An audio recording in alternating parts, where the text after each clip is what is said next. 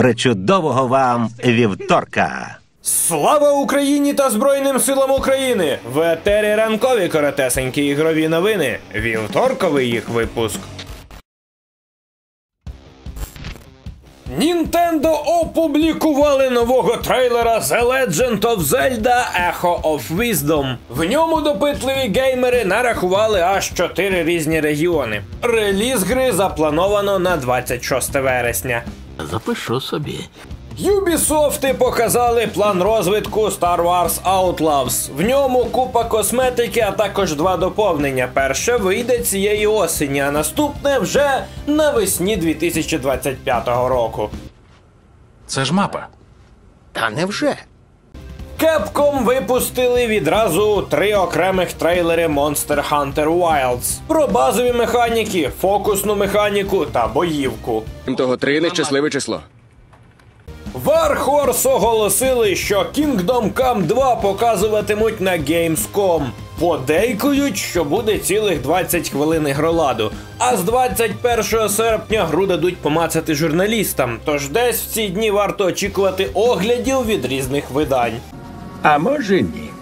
Sega зареєструвала торгову марку Yakuza Wars. Фанати вже пліткують, що вони покажуть нову гру на цьогорічному Tokyo Game Show.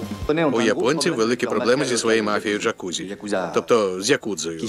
Їхні бандити зовсім знахабніли. Activision після виходу Call of Duty Modern Warfare 3 у Game Pass стикнулися з великою навалою читерів. Станом на зараз вони встигли заблокувати понад 65 тисяч облікових записів.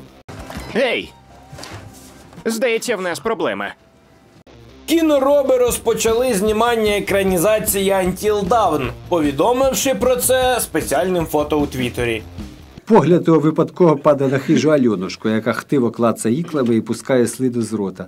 Традиційно дякую всім спонсорам моєї ранкової кави, а також шаленої мотивації продовжувати створювати для вас ранкові новинні дайджести. З вами, як завжди, був дядько Дмитро. Побачимось в інших місцях інтернетів. До середи.